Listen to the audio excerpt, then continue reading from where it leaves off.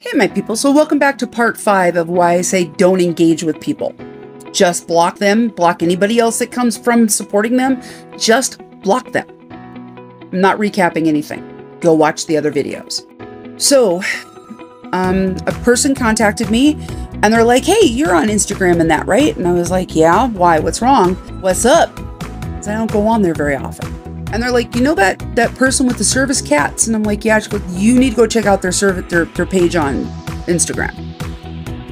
To which I went and checked out their page on Instagram and found pictures of my profile um, where they were asking people for help in finding me. Not only was she trying to find me on that platform, she was trying to find me on three platforms other than TikTok. She had people that were actually going out and running credit checks and stuff on me and finding out exactly where I was at. Because if you know somebody's social media account, you can usually get their name, and that goes to spirals from there, and you can find out anything you want online if you want to pay for it. And that's what she did. And then those people proceeded to put it all over the internet my name, my marriage history, my credit score in some points, phone number. It was bad. And I'm like, what the hell? And then I started looking through and going through other things that she had posted and found out that she was actively trying to recruit someone to come and pay me a visit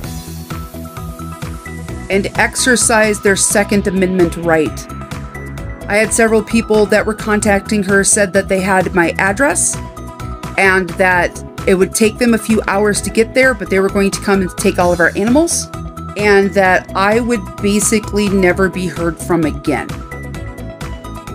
I know of at least three people that she openly online talked about price over, about covering their expenses for the trip.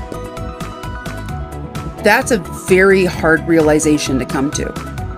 That somebody is so upset about something that you've said to prove them wrong that they're willing to do anything to make you disappear over it. Every time I saw anything from her, I screenshotted it. All of the people that she was sending after me, everything was getting screenshotted and put in a file. Now, I'll do a video about what happened when I called the police because that was a shit show. That will be the next video. But I did block her, and this app unblocked her because her account was banned and then it was restored. And that removes all of the blocks. And she came at me again. That in another video.